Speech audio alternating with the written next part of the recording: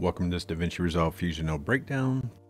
Today's node is the Override 3D node.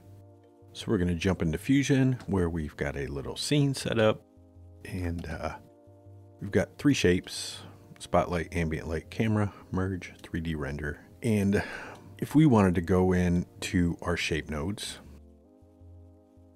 and change some of this information, say the visibility, the lighting, the matte, the blend mode, normals, we could do that.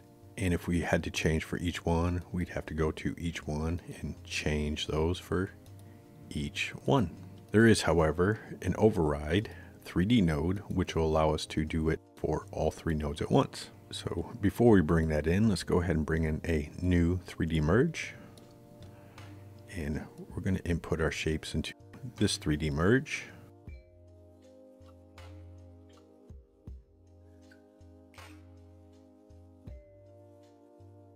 So now we have all those shapes merged back in. And let's hit shift space and type override and bring in an override 3D node.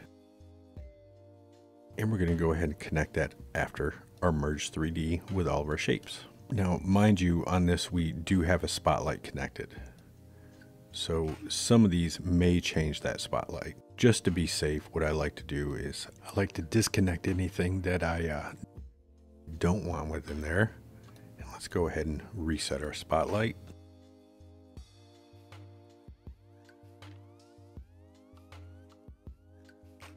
Let's get it back in our scene. I'm gonna go to camera, top, zoom out, and bring our spotlight back over our objects. There we go. Let's go back to our render node. So within our override, and let me reduce these so they all fit. You can see we have all the same controls that we do on our 3D shapes and many other 3D nodes.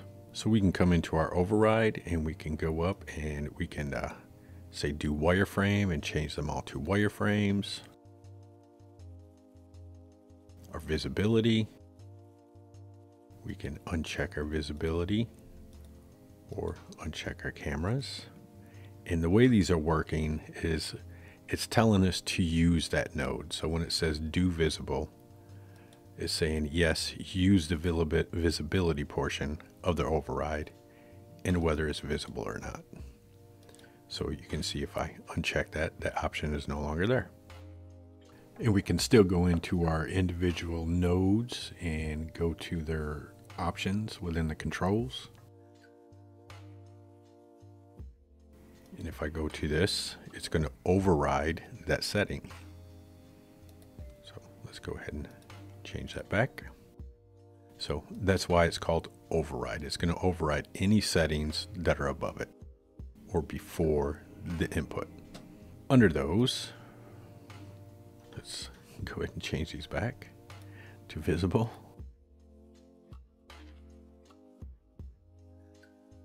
We can change our visibility.